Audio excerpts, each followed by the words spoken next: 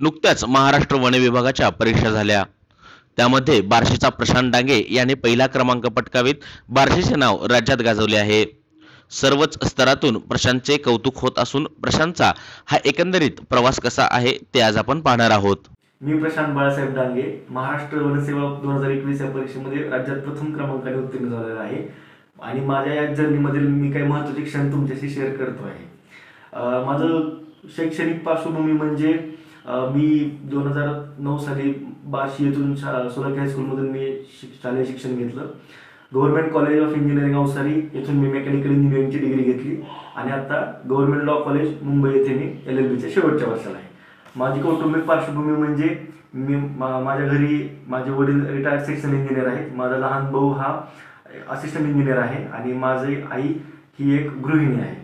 परीक्षेची तयारी म्हणजे सर्वप्रथम मी माझा जो सिले आपला जो आयोगाने दिलेला सिलेबस आहे त्या सिलेबसची कॉपी घेतली. त्याच्यामध्ये आपलं आपले काही स्टँडर्ड्स बुक्स असतात मार्केटमधले ते आणले.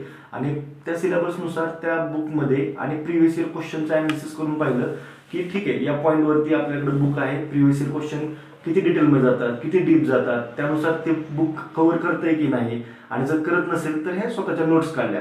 अशा प्रकारे मी माझं एक होलिस्टिक माझा एक सिलेबस प्रमाणे माझे काही बुक्समधून व काही स्वतःच्या नोट्स या दोन्हीकडून मी माझा सिलेबस कव्हर केला. त्याच्यानंतर त्याच्यावर मी भरपूर प्रिव्हियस इयर क्वेश्चन सॉल्व्ह केले.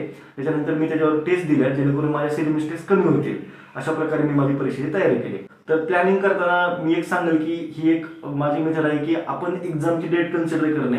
आणि त्या एक्झामच्या डेटपासून उलट म्हणजे रिव्हर्स प्लॅनिंग करत करते नाही उदाहरणार्थ आता महाराष्ट्र कंबाईन परीक्षा जी आहे आपली संयुक्त पूर्व परीक्षा तीस एप्रिलला आहे.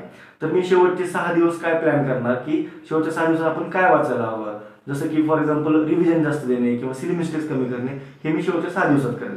त्याच्या अगोदरच्या दहा दिवसात काय करायला हवं? तर त्या माझं असं असतं की मी फॅक्च्युअल डेटा त्यावेळेस रिवाईज करतो जेणेकरून आपल्याला जास्त मेमोराईज होईल. त्याच्या अगोदरचे दहा पंधरा दिवस हे कन्सेप्च्युअल पार्टवर मी भर देतो. सो असं आपण उलट प्लॅन करत येणे हे मी या प्रकारे मी माझं प्लॅनिंग केलं.